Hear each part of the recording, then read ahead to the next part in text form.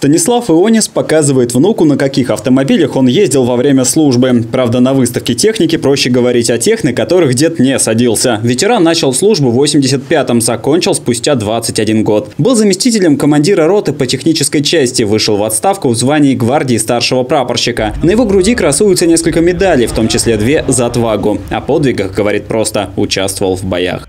Для меня всегда праздник. Это войска нашего Василия мы сделали. Этот мой внук младший, где-то здесь старший бегает. Мы всегда.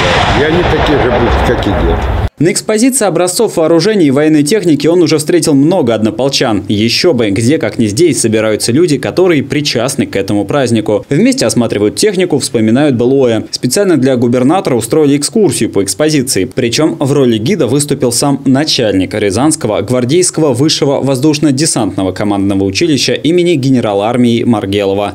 Парусукист десантник десантируется, достает автомат и ведет огонь по противнику на площадке призыва.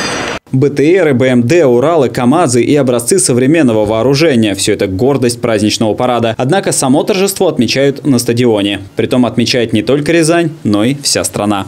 Рязанский край – это родина настоящих героев, многих выдающихся представителей русского воинства, доблестных военнослужащих современной российской армии. Сотни офицеров ВДВ, окончивших наше легендарное училище, по праву считают Рязань своим вторым домом.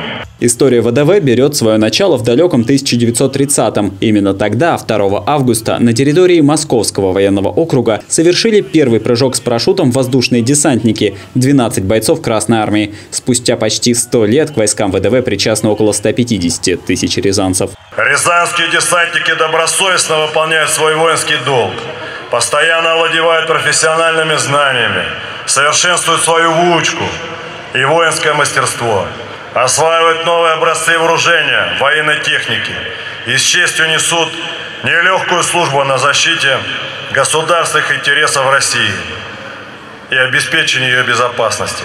Рязанское гвардейское высшее воздушно-десантное командное училище имени генерала армии Маргелова – единственное высшее военное училище, которое готовит кадры для мобильного компонента вооруженных сил, ВДВ, подразделений спецназначения, морской пехоты и иных силовых ведомств. Работу тактической группы можно было увидеть воочию. Бойцы разыграли сценарий наступления на лагерь террористов.